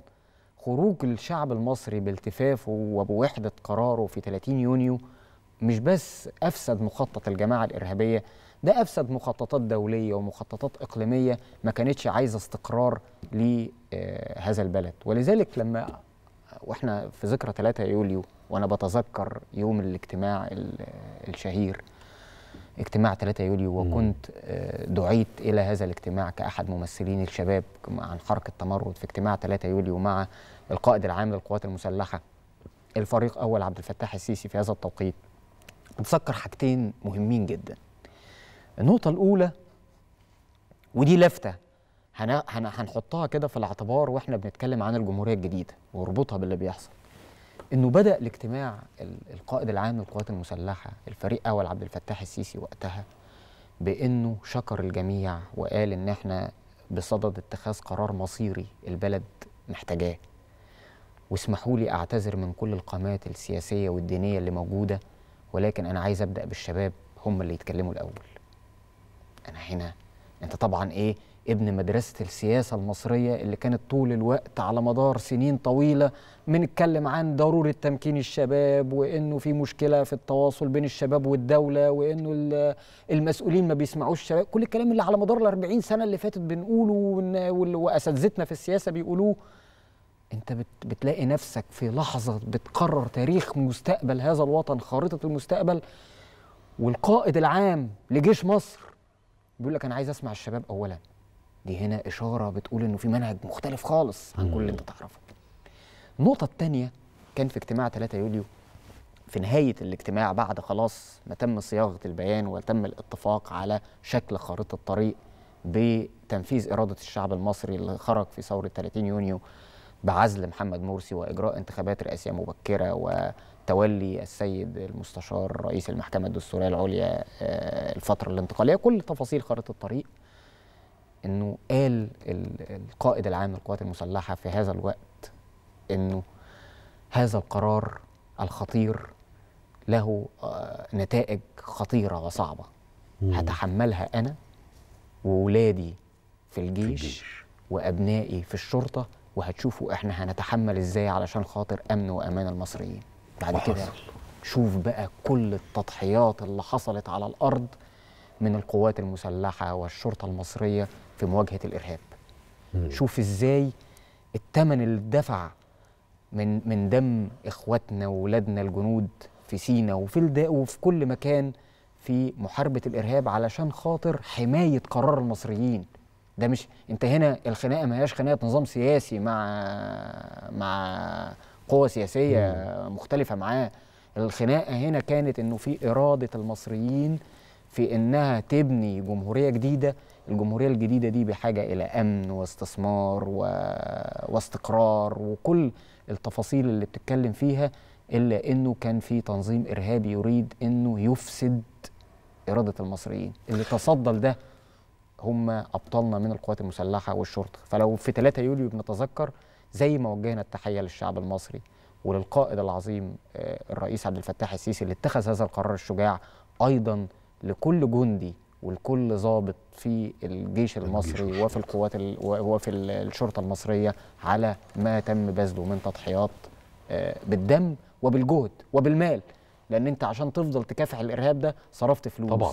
وجهد كبير واستهلكت من آه، طاقتك وتدريبك وحرصك ويقظتك على مدار ال 24 ساعة عشان نبقى النهارده بنتكلم وبنفتتح آه، قطار كهربائي وتحول كبير جدا في آه، المشروعات القومية. من المعروف دائما إنه ليس كل ما يعرف يقال لأن هناك دائما اعتبارات للأمور. ولكن في اجتماع 3 7 في إطار ما قد يقال. إيه اللي شايف النائب محمد عبد العزيز إنه أن الأوان نقوله؟ علشان الناس تعرف قد إيه قيمة 3 7 وقد إيه كانت هناك كواليس تم الاحتفاظ بجزء كبير منها. يعني إحنا لما جينا اتفرجنا على الاختيار في الكثير من التفاصيل ما كناش نعرفها زي ما ذكرت إحنا. ترافقنا سنتين 11 و12 مرورا ب 13 وبالرغم من ذلك وإحنا الاثنين بنشوف الاختيار بالرغم إنه كان ليك دور بارز ومهم مع الزملاء في تمرد. أنا أظن يا محمد إن أنت برضو اتفاجئت زينا ببعض الأمور اللي إحنا شفناها طبعاً، في هذا طبعاً. المسلسل. إيه اللي ممكن يتقال عن 3 7 ما حكيناش فيه قبل كده؟ يمكن هي ما اتقالتش بال بال بالتفاصيل لكن ك- كان في إصرار على التواصل حتى اللحظات الأخيرة مع جماعة الإخوان لمحاولة إن هم يحضروا الاجتماع. ويمكن الرئيس أشار لده النهارده في لقائه مع الإعلاميين آه. في ال- لكن بمنتهى الوضوح إحنا رفضنا ده. إحنا كممثلين تمرد قلنا لأ ومش هنقعد مع الإخوان والإخوان سقطت شرعيتهم وغيره. لكن ال- الفريق محمد العصار الله رحمة يرحمه. الله عليه. وأنت تعلم هذا الرجل تحمل كثيرا. جدا. يعني من 2011 من من الشخصيات اللي الحقيقة التاريخ هيذكر دورها. جدا. الله يرحمه. يعني. تواصل مع آه، الدكتور سعد الكتاتني كان الفريق العصار يجلس على يميني. آه. وإحنا قلنا لأ. وكان رأي ال- الفريق العصار قولوا كل اللي أنتوا عايزينه. لأ ما فيش حد هيحجر على رأيكم. حلو. وقولوا له في وشه. فتواصل معاه. رفض تماما إنه يحضر وخاف من المواجهة. لغاية آخر لحظة. إنه هنا. الفريق العصار تواصل مع الكتاتني شخصيا. وتعالى. أيوه واحضروا. مرتين. حاول معاه. ممثلين. آه حاول معاه مرتين تواصل ورفض الكتاتني تماما إنه يحضر. السؤال هنا. هل جماعة الإخوان تعتقد إنها ممكن تبقى طرف في أي حوار دلوقتي أو في المستقبل؟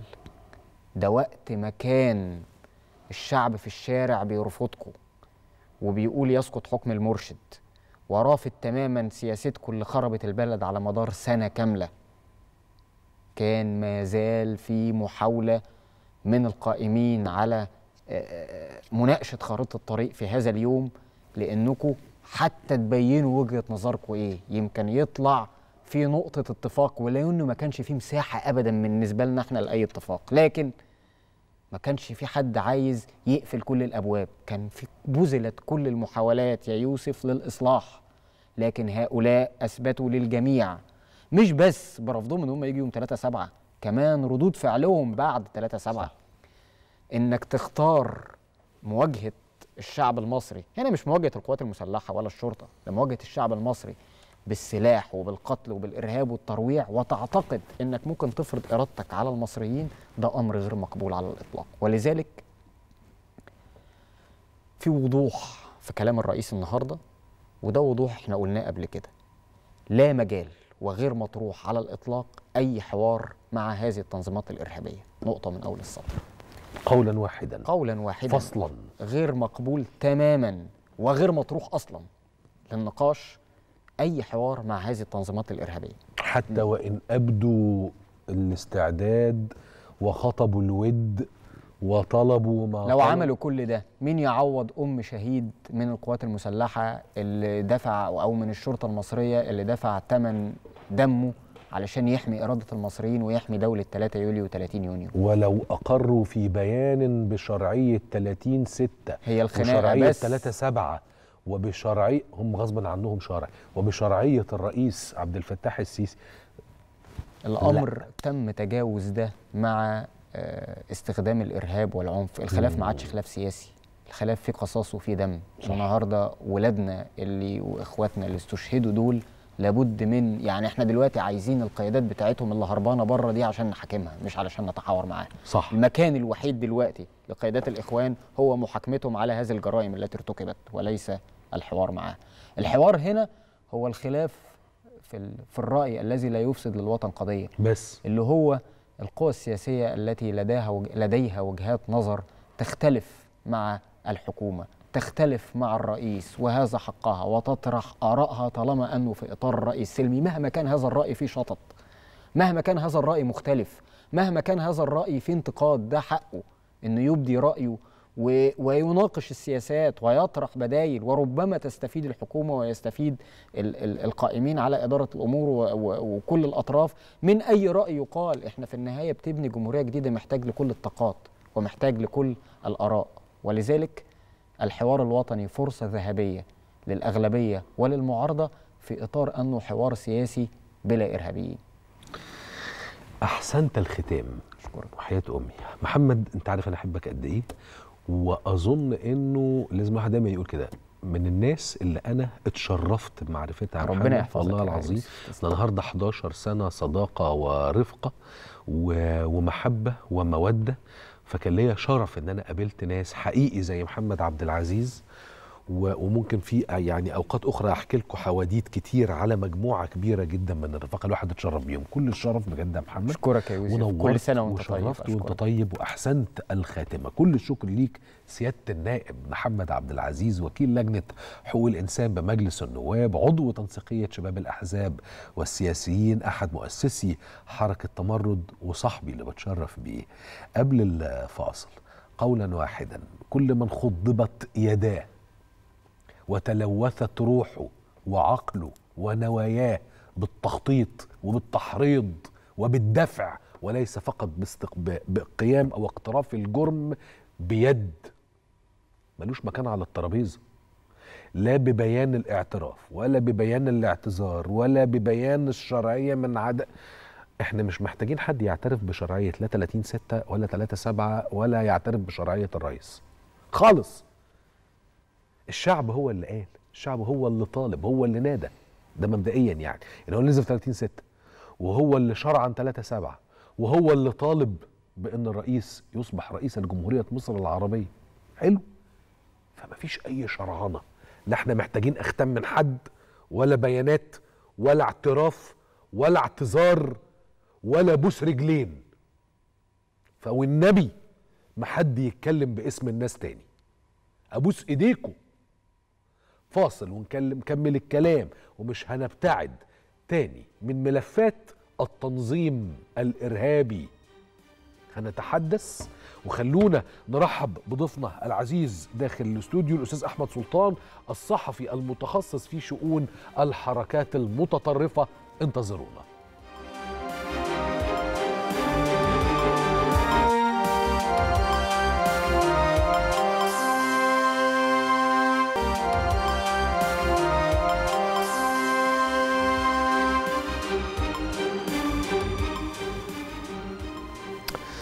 جدليات العقل البشري مع النفس الإنسانية.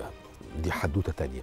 خلونا الأول نجدد الترحيب أو نرحب جدا بضيفنا العزيز الأستاذ أحمد سلطان الباحث المتخصص في شؤون الحركات المتطرفة. منورنا. نورك. البداية إن إحنا قربنا نختم لكن إحنا قاعدين مع بعض قاعدة تانية عشان نقوم بواجب الضحية ضد الخرفان. ماشي الكلام؟ ماشي. حاجز تمام. نبدأ. محمود عزت مين الراجل ده؟ محمود عزت هو الرقم الأهم تقريبا في معادلة جماعة الإخوان على مدار سنوات. واحد من أبناء التنظيم القطبي أو التنظيم السري داخل الإخوان وهو الجناح المسلح وأحد كهنة معبد الإخوان. انتمى للإخوان يعني في في الخمسينات تقريبا في بدايات عمره وكان من المجموعة اللي ألقي القبض عليها في تنظيم 65 اللي كان عايز يعمل انقلاب على الرئيس عبد الناصر. وفي داخل السجن توطدت علاقته بالإخوان أكثر وأكثر وأصبح مع مجموعة معينة منها محمد بديع يعني من قادة الإخوان الفاعلين. فبمجرد ما خرجوا من السجون بعد الاتفاقات اللي تمت مع نظام الرئيس السادات جاء يعني قامت مجموعة النظام الخاص أو التنظيم الخاص داخل الإخوان بإعادة بناء الجماعة. يعني في الواقع من بعث الروح في الجماعة من جديد وضخ الدماء في شرايينها الواهنة كانت مجموعة التنظيم الخاص. ومجموعة التنظيم الخاص وعلى رأسها محمود عزت ترى أنها قيمة على التنظيم هي وصية عليه. ولا ولا ترى أن هذا التنظيم ينبغي أن يتحرك إلا برؤيتها وإرادتها. فبالتالي كل ما حدث وكل الخطوات التي خدتها يعني أخذتها جماعة الإخوان كان محمود عزت يا إما مسؤول أول يا إما أحد المسؤولين المباشرين مع مجموعة منها محمد بديع ومحمود غزلان وخيرت الشاطر عن هذه القرارات. دول مجموعة التنظيم السري داخل الإخوان. لأن إحنا لما نتكلم على جماعة الإخوان إحنا مش بنتكلم على تنظيم واحد بنتكلم على تنظيمين. التنظيم العام ده المعروف وده اللي كان منه بعض آه، جيل الحركة الطلابية في الإخوان وجيل العمل العام كما يسموا أنفسهم ومجموعة التنظيم الخاص.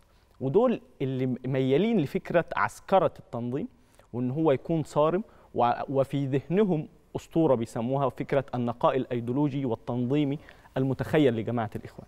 فهذه المجموعة هي رأس الحقيقي لجماعة الإخوان. حتى لو كان المرشد من خارجها هي تدير المسألة من الداخل. وفي فترة السبعينات كان هناك مرشد سري هو المهندس حلمي عبد المجيد. مم. لأن كان هناك هناك مرشد علني للتنظيم العام هو عمر التلمساني. ومع إن كان عمر التلمساني يعني واجهة كاريزمية عند كتير من الإخوان إلا إن كان أمور التنظيم يديرها ويحركها مجموعة التنظيم الخاص ومنهم محمود عزت طيب بما إنه دائما للجماعة مرشد سري لماذا لا يظهر هذا المرشد السري ليعتلي منصب المرشد علنا عيانا بيانا في النهاية الجماعة طالما وصفت نفسها بأنها المحظورة مع إنه مقر المانيال كان عليه يافطة قد كده آه، هو ببساطة إحنا هناك ديناميكيات عديدة تحكم عمل جماعة الإخوان.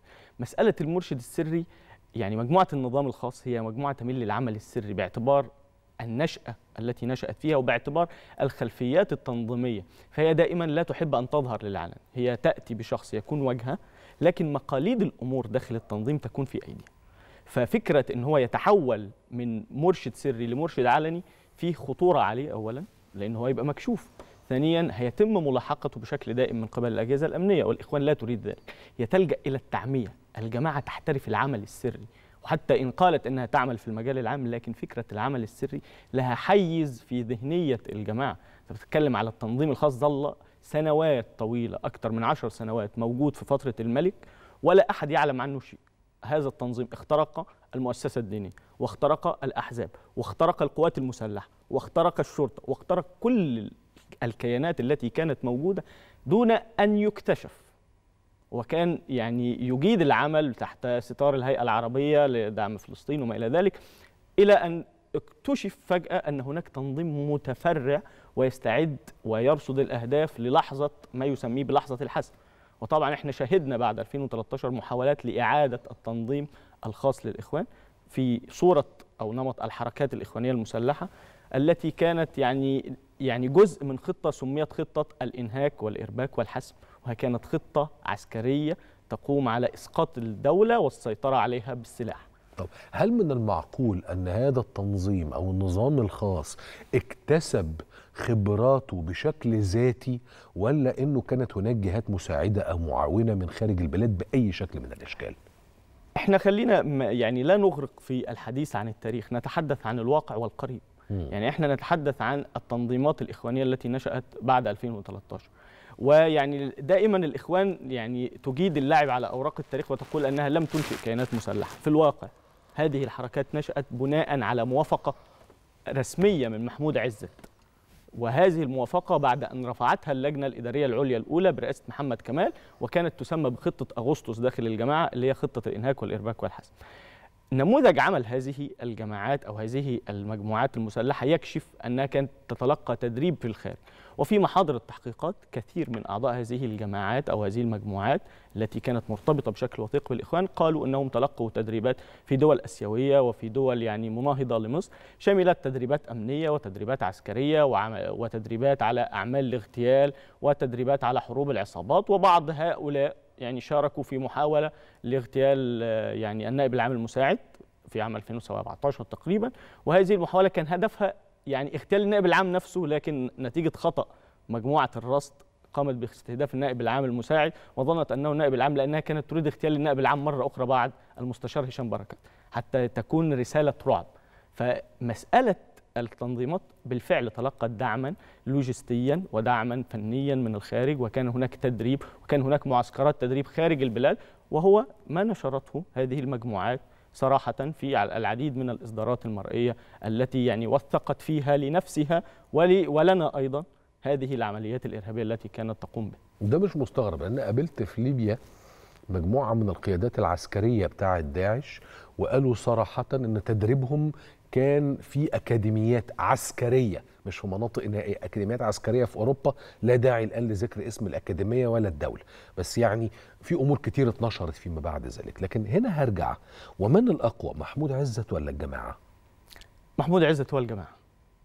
ببساطة. يعني محمود عزت هو رجل السر والرقم الصعب والقائد الفعلي ولا خيرت؟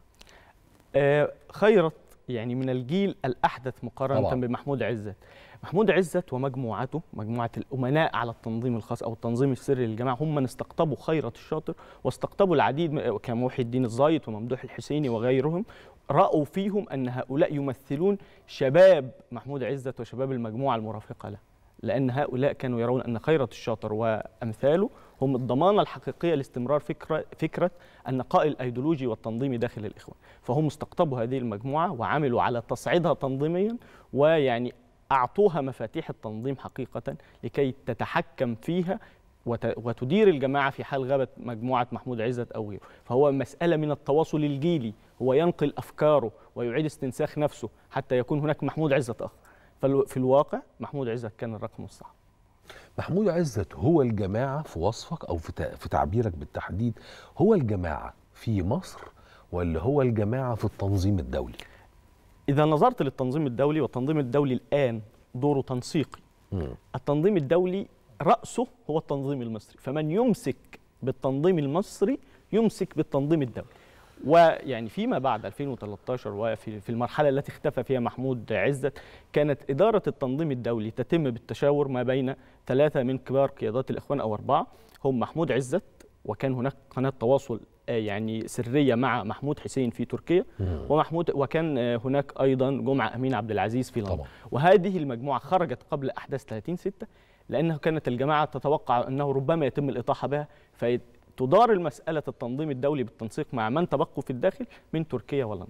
وهو ما حدث بعد 2013 فمن يمسك بمقاليد الأمور داخل التنظيم المصري يمسك بالتنظيم الدولي. وهذا منصوص عليه في لائحة التنظيم الدولي.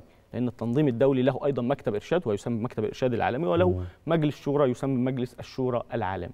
لكن يعني غالبية أعضاء مكتب الإرشاد العالمي وغالبية أعضاء الشورى العالمي هم من التنظيم المصري أكثر من النصف تقريبا هم الأغلبية. فالآن مؤسسات حتى التنظيم الدولي سواء رابطة الإخوان في الخارج أو يعني أو أو القطاعات الدولية السبعة اللي هي تابعة للتنظيم الدولي كلها موجود فيها قيادات مصرية وهؤلاء من يعني من أبناء محمود عزت أو رفاق محمود عزت. يعني آه، اثنين من أهم الأرقام الصعبة أيضا في جماعة الإخوان في الوقت الحالي مصطفى طلبة هو صهر محمود عزت بالمناسبة وأيضا كان لدينا آه، محمد عبد الوهاب وهو أيضا قريب من محمود عزت. وهؤلاء يعني في النهاية هم رجال عزت المخلصين داخل التنظيم والروابط التي تجمعهم به تجعلهم مخلصين له تماما. فبالتالي هو الرقم الأهم في التنظيم. طيب. أنا المفروض الحلقة خلصت. تعال نحضر تحضيرة صغيرة للحلقة اللي جاية هم بجملتين. من هو الرجل الأقوى؟ محمود عزت أم مؤسس بنك التقوى يوسف ندى؟ من يقود الجماعة حتى لو قلت لي يوسف ندى رجل تخطى التسعين؟ عارف. بس لا زال واعيا. وهبقى أحكي لك على جنب ليه لا زال واعيا. من الأقوى؟ محمود عزت ولا يوسف ندى؟ اللي مول الخميني زمان.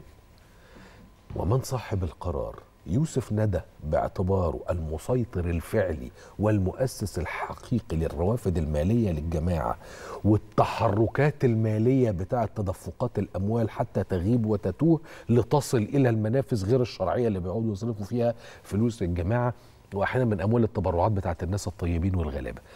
اعتبر إنه ده التفكير المشترك اللي ما بيننا إلى أن يحين لنا بإذن الله في القريب لقاء آخر نتكلم فيه في نفس ذات الموضوع. أشكرك جدا على إنك نورتنا. أشكرك على إنه فعلا قلت لي المرة دي كلام لم نعتاد سماعه وده شيء مهم جدا من ال- الباحث اللي زي سيادتك الباحثين الحلوين كده. شكرا جدا صديقنا العزيز ضيفنا الرائع الأستاذ أحمد سلطان الباحث المتخصص في شؤون الحركات المتطرفة. ولو كان لنا العمر نقابلكم بكرة إن شاء الله وبرنامجكم التاسعة. سلامات.